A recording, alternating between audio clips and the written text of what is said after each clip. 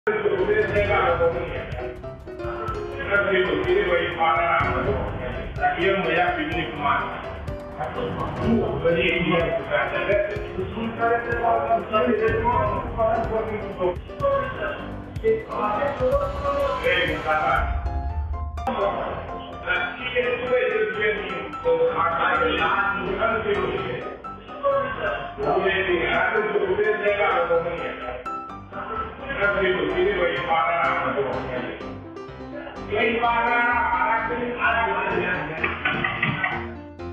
Au fost odată ca în povești doi oameni cu pretenții. Erau deputați PSD, școliți la școala veții. Și într-o seară, boșii ei fiind oricum cât tona, au zis mâncăm și noi ceva finuț, băgăm vreo trei șaormă. Și au intrat la dristori ei, umil și cu bun simț, cu capul plecat și smerit, ce să mai, niște sfinți. Dar casierul tupeist, o leacă automat, pe loc el i-a recunoscut urmașii lui Ștefan și îi privi într-un sictir cu ochii pe sub bască și reproșează cu tupeu. Dar voi nu aveți mască? Și atunci domnii și normal s-au enervat, firește, și au început a înjura. Mască? ce îmi trebuiește? Dar tu nu știi cine sunt eu, băi, Mustafa ce ești, fii bucuros că eu te las să vin și urma în București. Dar asta e legea domnilor, sincer nu eu am dat-o. Purtarea măștii trebuie.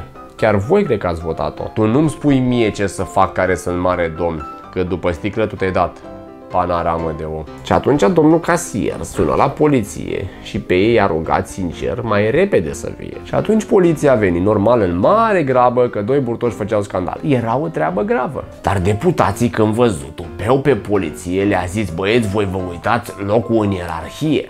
Aveți grijă cum vă purtați că avem și noi pretenții și voi doar trei clase aveți, pe când noi școala aveți. Dar polițiștii ce-au făcut, normal, doar datoria și au amendat pe bădărani cu cât am eu chiria. Pe două luni. Deci pe domnii deputați acum care au avut toane, urma aia i-a costat 30 de milioane. Concluzia poveștii e, românului cu forme îi poți interzice orice, dar numai nu șaorme. Pentru șaurma vă tai pe tot să mor eu dacă nu.